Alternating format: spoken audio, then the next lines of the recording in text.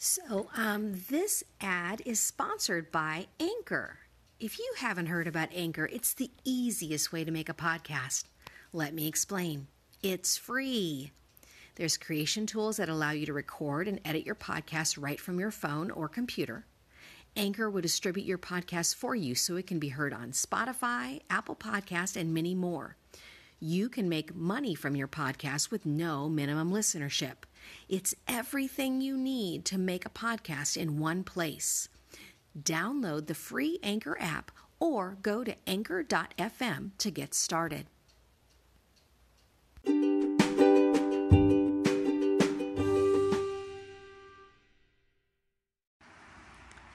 Hello there.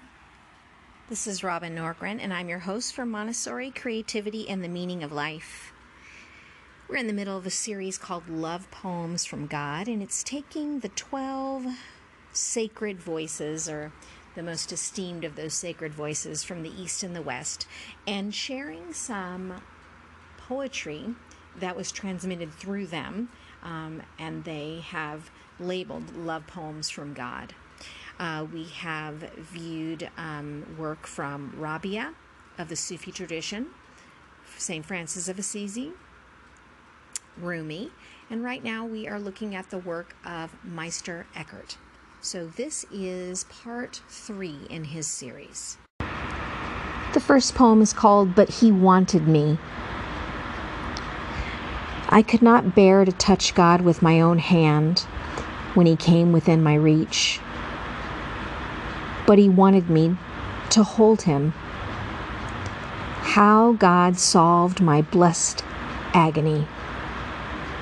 Who can understand? He turned my body into his. The next one's called I Bet God. If he let go of my hand, I would weep so loudly. I would petition with all my might. I would cause so much trouble that I bet God would come to his senses and never do that again.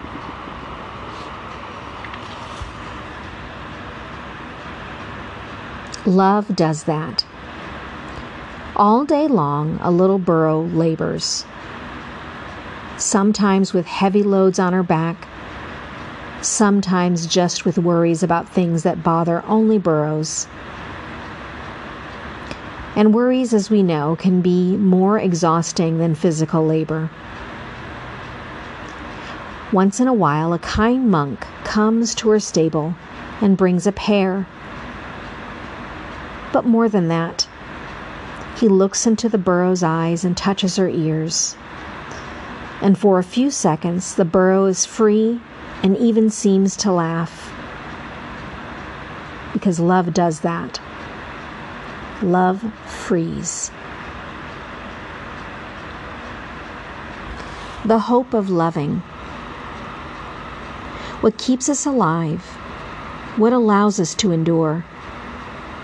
I think it is the hope of loving or being loved. I heard a fable once about the sun going on a journey to find its source, and how the moon wept without her lover's warm gaze. We weep when light does not reach our hearts. We wither like fields if someone close does not rain their kindness upon us.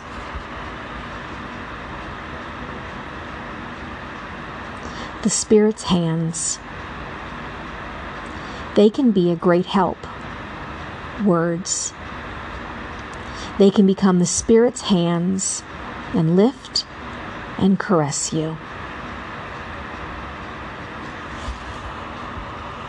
This last one is called How Then Can We Argue?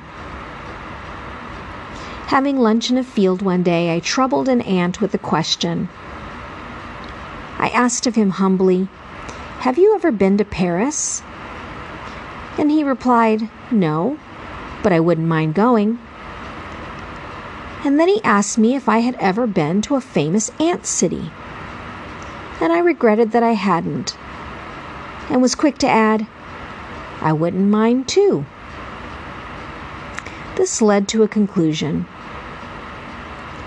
there is life that we do not know of. How aware are we of all consciousness in this universe? What percent of space is this earth in the infinite realm? What percent of time is 1% in eternity? Less than that is our knowledge of God. How then can we ever argue about Him? Thanks so much for stopping by.